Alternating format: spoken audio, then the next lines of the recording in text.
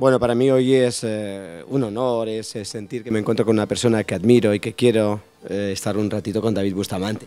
Muy buenas, querido amigo. Es el buen rollo que tienes, chico. No, es que tenemos un buen rollo desde hace mucho tiempo, ¿no? Y hay que ser positivos en la vida. Hay que juntarse a las personas positivas, que son las que te dan buena energía. A las negativas hay que apartarlas, que si no al final termina un hundido. David Bustamante está en plena forma en todos los sentidos, del mejor tú. disco. bueno, estoy viviendo un momento muy, muy especial, ¿no? Realmente estamos celebrando diariamente pues, todas las cosas que nos están pasando, no solamente a nivel eh, profesional, sino a nivel personal. Y creo que el personal está influyendo mucho en todo, ¿no? Desde que nació mi hija, eh, todo ha sido positivo. Es como que eso de que dicen que los niños traen un pan debajo del brazo, ella ha traído, eh, no sé, mucho bienestar en todos los aspectos de mi vida. Y también tu, tu compañera, ¿no? Sí, desde luego, Paula siempre ha sido y es la persona que me ha dado a ese ser maravilloso, ¿no? Mi mujer para mí es súper importante, ¿no? Pero eh, cuando nace una criatura como, como Daniela es, pues quizás adquiere más protagonismo que otros, pero Paula va muy, muy pareja a ella. Todo mi universo pre- precisamente es para ella, ¿no? Dedicado a ella. Sí, Universo de Todo es una canción que le escribí, letra y música, además me, me- me costaba al principio, ¿no? Encontrar las palabras porque me parecía que todo era poco, ¿no? Hubo muchos papeles que iban a la, a la papelera y, y, mi padre tuvo la genialidad de traérmela, ponérmela delante, ¿no? Y ella muy sonriente, dijo, muy risueña como es ella, papá, y algo removido dentro de mí que en menos de dos horas escribí la canción. Y habla un poco pues, de, de- de- nuestra historia, ¿no? Hay partes de la canción que dice esta ausencia que me invita al desconsuelo y es que vivo esperando mi regreso y contigo soy feliz, sin ti siento morir, yo renazco en cada uno de tus gestos. Creo que eso resume bastante pues mi día a día, ¿no? Llevo tres meses deseando volver, deseando regresar porque con ella vivo y, y sin ella muero. Con Daniela sois dos niños jugando, es que lo estoy viendo. No, no, pero tiraos por el suelo los dos, me encanta, no hay cosa que más me guste jugar con ella y, y ahora la pena que me queda es que en esta época pues no estoy todo lo que quiero yo y lo que quiere ella, ¿no? Pero ella siempre es muy es muy agradable, el recibimiento es como si me hubiera ido ayer, no como si me hubiera ido hace 10 días y me da me llena, me llena de energía, ¿no? para afrontar eh, los días posteriores, ¿no? cada vez que me tengo que marchar. Luego, ¿dónde estarás? Porque comenzaste en Palma, ¿no? La gira. No, no, el- yo llevo ya hechos como 18 conciertos, pero sí es cierto que acabo de venir de Palma. Eh, hoy tengo Barcelona, pasado también, el auditorio, lo que decimos. Luego tengo Zaragoza.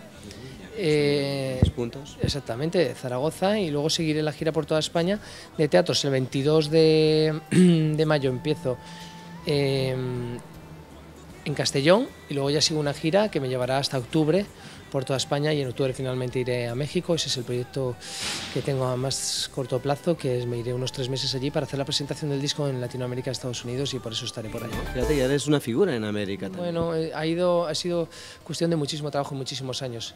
Me ha costado mucho y realmente hay otros países que con el primer disco, con Centroamérica, Venezuela, eh, Colombia, realmente pues con el primer disco ya tengo esa aceptación ¿no? y ese cariño. Es que al final es un conjunto de muchas cosas, ¿no? No solo poseer una buena voz y unas buenas canciones, sino que la compañía apueste por uno, ¿no? Hombre, desde luego, los artistas eh, dependemos muchísimo de eso. Eh, da igual si tienes talento o no, si la compañía no, no apoya y no empuja es muy complicado. Realmente hoy está muy difícil. Eh, ya no hay las campañas de, de dinero que, que había, pero sigue habiendo un poco, ¿no? Y si ese poco optan por ti y no por otro, pues lógicamente te va mejor, es así. Eh, Dice Bustamante, eh, nos hemos comido el David, a partir de ahora serás Bustamante. Sí, ya lleva desde, desde muchos discos. Eh, Bustamante me suena contundente, es el apellido que me dio mi abuelo en paz descanse. Y así como David hay muchos, pues ¿para qué Bustamante? Bustamante estoy yo. Así es, no sé, me gusta más Bustamante. David es, excesivamente largo y separarlo, ¿no? Bustamante es mi apellido, pero es mi nombre artístico y David eh, lo dejo para, para ti, para, para los amigos o para cuando me vean en la calle. ¿A contracorriente es que te gusta ir? ¿A ti también a la vez a contracorriente? Eh, a veces hay que luchar a contracorriente aunque uno no quiera. Es un poco un título reivindicativo, ¿no? Por, por, eh, porque bueno, yo creo que en estos años ha habido excesivos prejuicios de- por parte de alguna prensa y de la industria, ¿no? Hacia los que salimos de un programa muy digno como es Operación Triunfo y realmente les pesa mucho el sello, ¿no? Les pesa más los cinco meses y medio que casi diez años de carrera y están continuamente repitiendo lo de Triunfito además eh, de manera hiriente, to- todo, continuamente, ¿no? ya, ya molesta un poco. Yo soy de Operación Triunfo a muerte, pero no hay que quitar mérito ¿no? a los años, a los discos, a las cosas que hemos hecho se puede hablar de otras cosas o se puede, si te gustan las etiquetas, poner muchos nombres. Por ejemplo, cantante cántabro, yo voy dándoles ideas. Pero, pero es eso, ¿no? Un poco. Eh, recordando que en este momento que es el mejor, pues con este título quiero recordarles que no ha sido fácil llegar hasta aquí. Eh, eh, no hay hueco en los programas para la música, algo está pasando muy grave. Se nos está dando la espalda y creo que la música, para de ser cultura, entretenimiento, es necesaria, a la gente le gusta eh, que haya momentos ¿no? para, para hablar, para cantar, y es una pena. Y espero que todo cambie, como todo es cíclico y como todo vuelve y como todo gira, pues que llegue otra vez al punto donde empezó.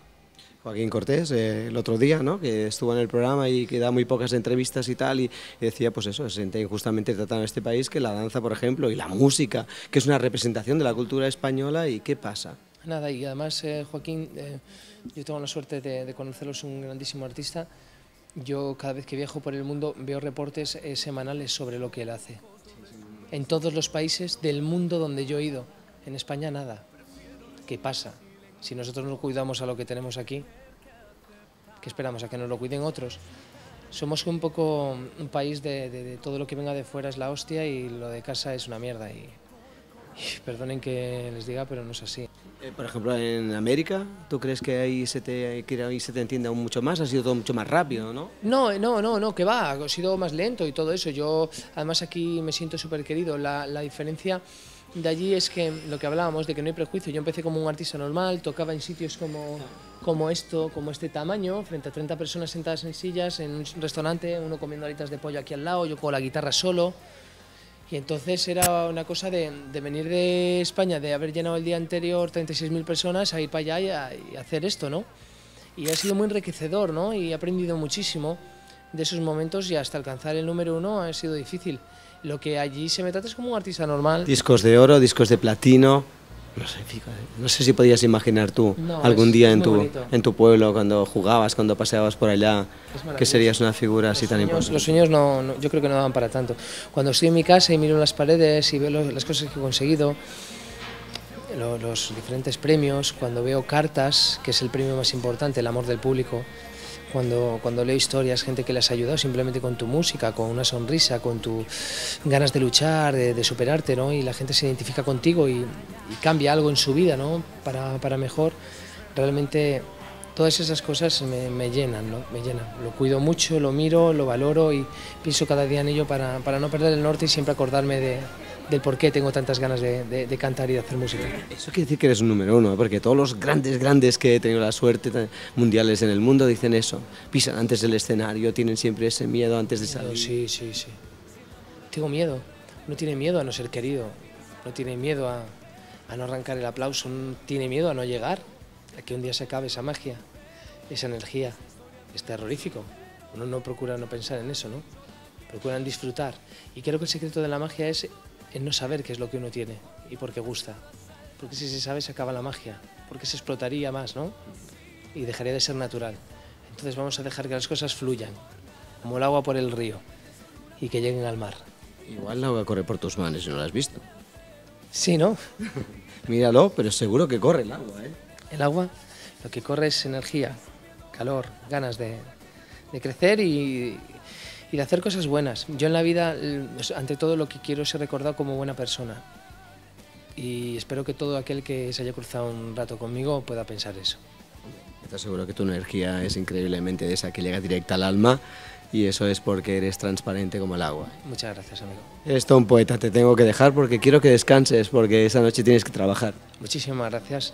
Y si y no, no podrás sentarte ni un momento. Nada, es, va, a ser, va a ser terrible, pero ya tengo muchas ganas. Una vez me subo al escenario, se me quitan todos los males.